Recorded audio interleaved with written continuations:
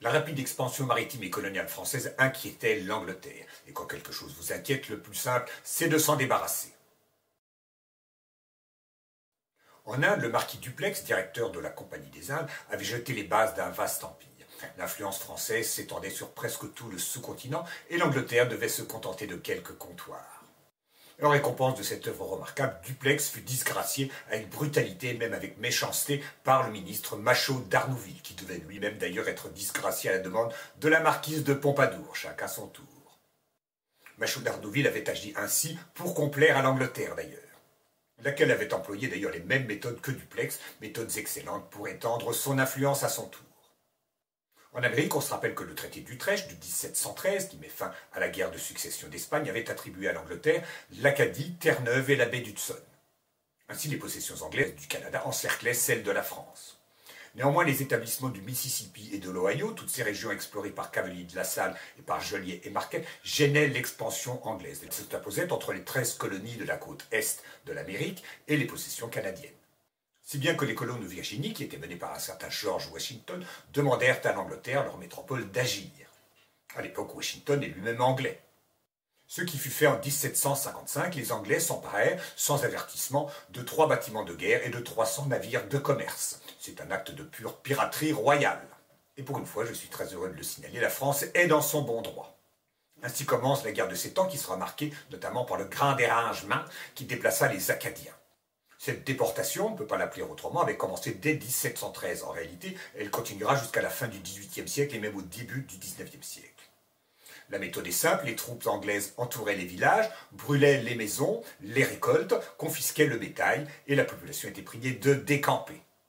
Quelques-uns de ces Canadiens français retournèrent en France, mais en fait très peu. La plupart allèrent au Québec et aussi en Louisiane, mais ils supportèrent assez mal le climat. Toutefois, ils furent à l'origine d'une langue dérivée du français qu'on appelle le cajun, qui est une déformation du mot acadien.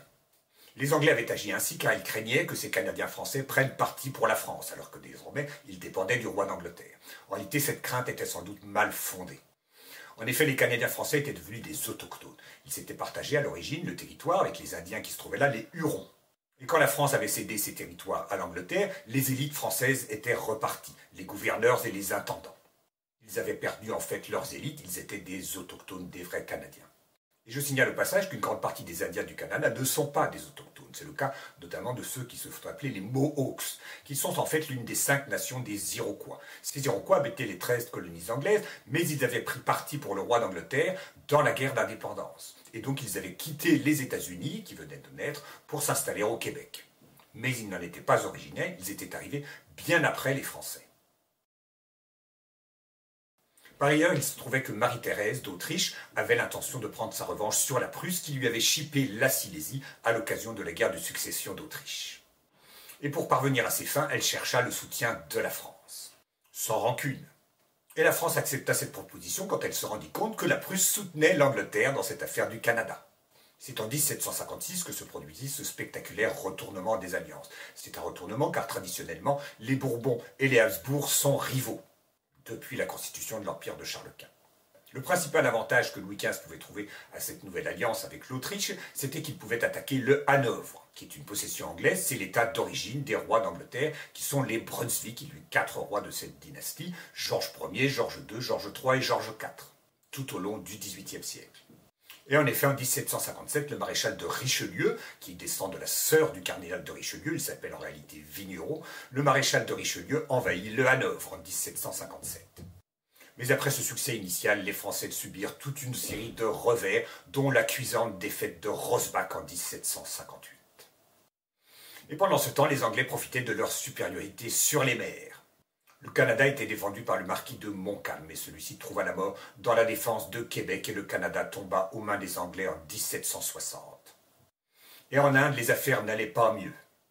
En effet, Lali Tolindal, qui était bloqué dans Pondichéry, qui ne disposait que de 700 hommes contre 22 000 Anglais, finit par capituler et pour cela il sera décapité. En effet, un militaire ne doit pas capituler sans l'autorisation de ce gouvernement. Le problème, c'est que ce gouvernement est à des milliers de kilomètres. Et vu le déséquilibre des forces, cette capitulation paraissait fatale.